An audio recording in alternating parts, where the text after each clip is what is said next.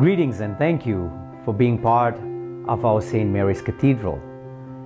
I was going to communicate with you in this format earlier, but I didn't have the opportunity to do so. For many of you, I just get to see you only at Masses when you are here. But I guess it's never too late to communicate. In this video, I wish to deliver two points. First, there is so much going on in the background to run this massive cathedral. It's a big endeavor, but with God's help and with God's grace, things are working well so far.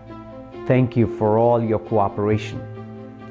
Secondly, I should admit that there is a lot of support by many of you who do so much in this place to continue to carry on and live our sacramental life here and maintain a sense of community that cares for one another, including those who are marginalized and, and poor. Especially, uh, we have Feed the Hungry program here in our hall, uh, which is a diocesan program.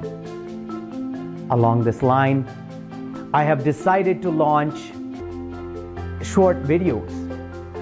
We'll have a series of video interviews every week that I, as the rector of the cathedral, will conduct with the clergy, the staff, and some of the active members of our parish community.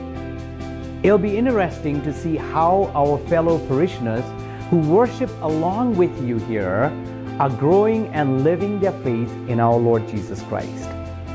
Just thinking about it makes me excited. So stay tuned and continue to pray for one another. I'm praying for you. Please remember to pray for me too. God bless you.